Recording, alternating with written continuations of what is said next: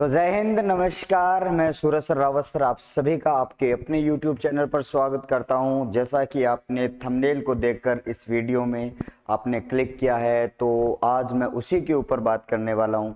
जैसा कि आप सबको दिखाई दे रहा है, सर सेकंड ग्रेड जो आपकी आरपीएससी द्वारा एग्ज़ाम होना है, संस्कृत विभाग का एग्ज़ाम होना है, उसके ऊपर हम बात करने वाले हैं।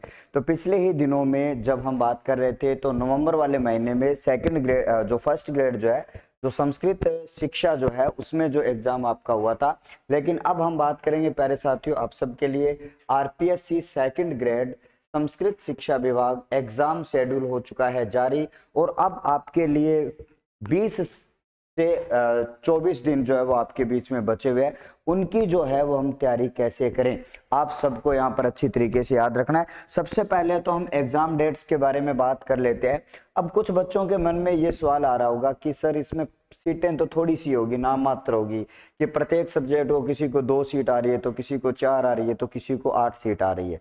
ये आपको ख्याल रखना ही नहीं है। आप अगर फ़र्स्ट ग्रेड स्कूल शिक्षा की आप तैयारी कर रहे हो, आप सेकंड ग्रेड स्कूल शिक्षा की तैयारी कर रहे हो तो आपको अपनी तैयारी को परखने के लिए आपके लिए बेहतर मौका है। आप उस स्थिति से कैसे पार पाते हो, उस स्थिति के लिए बेहतर मौका आपके लिए होने वाला है। तो एग्ज़ाम फॉर्म अगर आपने भरा है ना तो भैया आपको क्या नहीं करना है एग्ज़ाम बिल्कुल भी आपका मिस नहीं करना है। तो सबसे पहले हम यहाँ पर बात करने जा रहे हैं, प्यारे साथियों, राजस्थान लोक सेवा आयोग प्रेस नोट जो है, वो आज यानी कि शाम को तीन बार बारह दो हज़ार चौबीस को ये जारी किया गया था। आयोग द्वारा वरिष्ठ अध्यापक प्रतियोगी परीक्षा 2024 संस्कृत शिक्षा विभाग के अनुसार विषयवार आयोजन अनुसार किया जाएगा।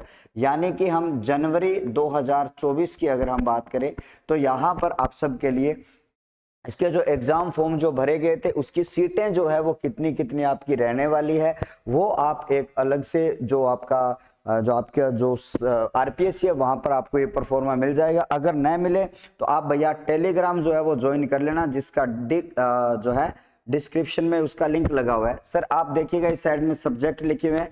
सबसे पहले social science, SST, Hindi, GK and education psychology, science है मैथमेटिक्स है, संस्कृत है और इंग्लिश है। यानी कि ये आपके छह सब्जेक्ट्स और एक आपका जो जीके वाला जो कॉमन जो पेपर होगा, वो सबके लिए होगा। देखो, इसको लगभग सेंटर में डाला गया है आपके लिए। सबसे पहले तो हम बात कर लेते हैं प्यारे साथियों कि जीके वाला जो एग्ज़ाम है, वो आपका कब होने वाला है? यानी कि 29 बारह 2024 बार रविवार को यहाँ पर इसको दो शिफ्ट में करवाया जाएगा, साढ़े नौ से लेकर आपका साढ़े ग्यारह बजे तक। इसका जो वक्त समय रहने वाला है, प्यारे साथियों। वो आपका क्या रहेगा, प्यारे साथियों? यहाँ पर, ठीक है? यहाँ पर इसका जो समय है, वो दो घंटे रहने वाला है। उसी दिन शाम की शिफ्ट में आपका साइंस का पेपर होगा। यानी साइंस वाले जो वरिष्ठ अध्यापक है, उनका जो पेपर है, वो आपका संडे को अढ़ाई से लेकर आपका पाँच बजे तक ये दो घंटे आपका तीस मिनट का समय जो दिया गया। अब हम एसएसटी वालों की बात कर लेते हैं, प्यारे साथियों। तो सोशल स्टडी की अगर बात करी जाए सोशल साइंस की तो उनका जो पेपर है बार शनिवार को पहली शिफ्ट में, मॉर्निंग शिफ्ट में इसका जो एग्ज़ाम है वो आपका यहाँ पे साढ़े नौ से लेकर बारह बजे तक आपका एग्ज़ाम यहाँ पे होने वाला है। ये आपकी मॉर्निंग शिफ्ट है और उसके बाद में उसी दिन 28 तारीख पहले दिन हिंदी वालों का एग्ज़ाम होने वाला है प्यारे साथियों। हिंदी वालों का जो एग्ज़ाम है वो आपका होने वाला है। कब होने वाला है प्यारे साथियों? आपको ध्यान में रखना सर, अट्ठाईस बारह को। तो यानी कि अगर आप हिंदी की तैयारी कर रहे हैं, अगर आप सोशल साइंस की तैयारी कर रहे हैं तो आपको 28 और 29 दो दिन आपको एग्ज़ाम देना होगा। 29 तारीख को मॉर्निंग वाले सेशन में आपका जीके वाला जो सबके लगता है पेपर वो आपका यहाँ पे, जिसमें जीके एंड साइकोलॉजी आपकी होने वाली है।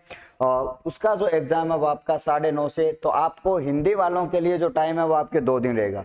साइंस वालों का दो दिन का एग्ज़ाम है आपका 28 और उनतीस को। फिर मैथमेटिक्स वालों के लिए अगर यहाँ पे बात करें तो 30 बारह की मॉर्निंग शिफ्ट को ये जो आपका एग्ज़ाम आपका होने वाला है साढ़े नौ से लेकर बारह। यानी मॉर्निंग शिफ्ट का जो टाइम है वो आपका साढ़े नौ से जो है वो आपका बारह बजे का समय रखा गया है और सेकंड शिफ्ट का जो टाइम है वो दो बजकर तीस से पाँच बजे तक का टाइम रखा गया है। टाइम बिल्कुल सोच समझ के निर्धारित यहाँ पे किया गया है। संस्कृत वालों का जो एग्ज़ाम होगा वो आपका तीस तारीख को सोमवार को दो तीस से लेकर पाँच बजे तक आपकी सेकंड शिफ्ट में होने वाला है।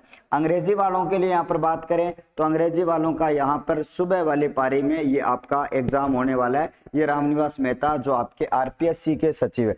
अब यहाँ से आपको इस बात को समझ रहे हैं। अब भाई साहब, सामाजिक वाले सामाजिक वाले जो है, उन विद्यार्थियों को यहाँ पर 28 तारीख को और सामाजिक वालों को 29 तारीख को दो दिन भैया पेपर देना है। ठीक है, सामाजिक सब्जेक्ट की बात करूँगा तो वो आपका शिफ्ट वन में देंगे और यहाँ पर जीके वाले की बात करूँगा तो शिफ्ट वन में देंगे। तो यहाँ पर आपको ध्यान में रखना यहाँ पर जीके का एग्ज़ाम होगा और यहाँ पर आपका सब्जेक्ट का। ये दो तारीख आपको याद रखनी होगी। एसएसटी वालों के लिए दो तारीख आपको याद रखनी होगी 28 बारह और उनतीस बारह को एग्ज़ाम होने वाला है।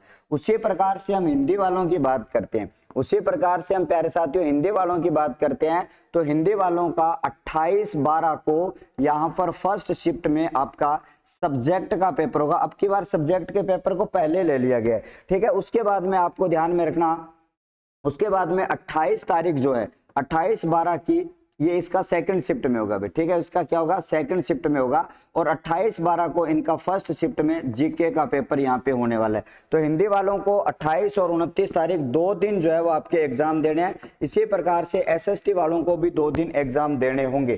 तो ध्यान रखना एसएसटी वालों के लिए और हिंदी वालों के लिए दो दिन रिज़र्व रखे गए हैं। उसके बाद में तीसरा नंबर जो आता है वो पैरा साथियों, वो विज्ञान वालों का नंबर आता है।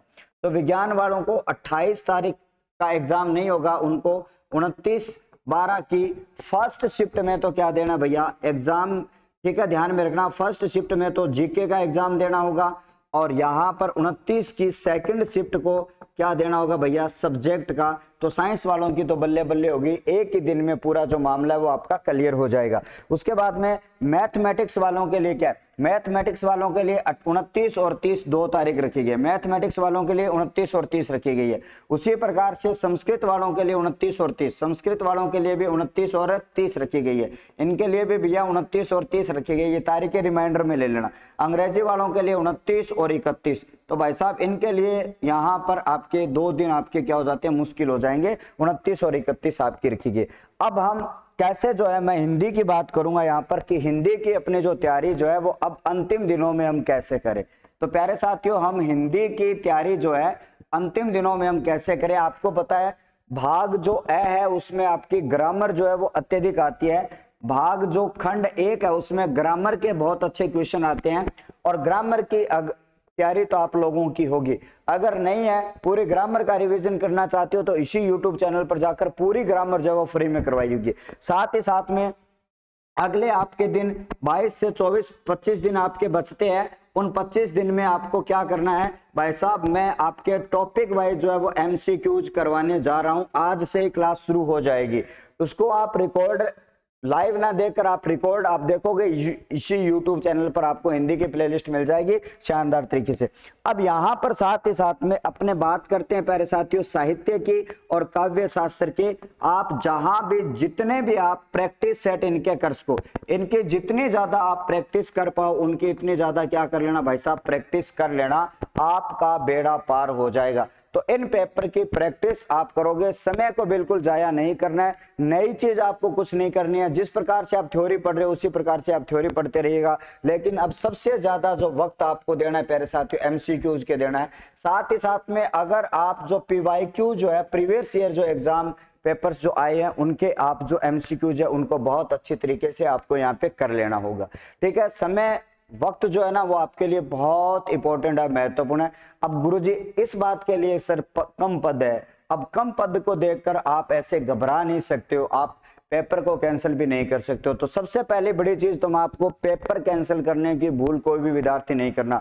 हो सकता है आप पास न हो तो न हो कोई फ़र्क नहीं पड़ेगा। लेकिन पेपर कैंसिल मत करना। पेपर देने के लिए जाना। उसके बाद में जो क्वेश्चन आएँगे, उन क्वेश्चनों का आप एनालिसिस अच्छी तरीके से करना ताकि आपकी आरपीएससी में जब आपकी सेकंड ग्रेड स्कूल शिक्षा में जो आने वाली है सेकंड ग्रेड उसके लिए बहुत काम के होंगे। साथ ही साथ में जो आपके फ़र्स्ट ग्रेड में जो आपके अभी जो स्कूल संस्कृत शिक्षा का जो एग्ज़ाम हुआ था, उनके भी प्रश्न आप अच्छी तरीके से पढ़ लेना। आपकी हिंदी ग्रामर की पूरी ज़िम्मेदारी मैं लेता हूँ। थ्योरी अगर पढ़नी है तो आपको पहले से करवाई हुई है। एमसीक्यूज आज से ही आपके क्या हो जाएँगे? शुरू हो जाएँगे। टॉपिक वाइज एमसीक्यूज हम लगातार जो है, वो हम करने वाले हैं। तो ये छोटा सा वीडियो आपको कैसा लगा? अगर आप संस्कृत विभाग का हिंदी से एग्ज़ाम देते हैं तो नीचे आप यस यस ज़रूर कॉमेंट लिखोगे। टेलीग्राम आप ज्वाइन कर लेना। और इनके पदों का बार विवरण आप जानना चाहते हैं तो टेलीग्राम जो है, जिसका लिंक आपके डिस्क्रिप्शन में लगा Suraj sir, Rawat sir search करोगे तो आपको टेलीग्राम मिल जाएगा। उसके ऊपर मैं वो सूचना जो है, वो डाल दूँगा। आशा और उम्मीद के साथ में ये वीडियो अच्छा लगा होगा, ठीक है? बेहतर लगा होगा अच्छा लगे तो कमेंट ज़रूर करना। आप सबका बहुत बहुत आभार, नमस्कार थैंक यू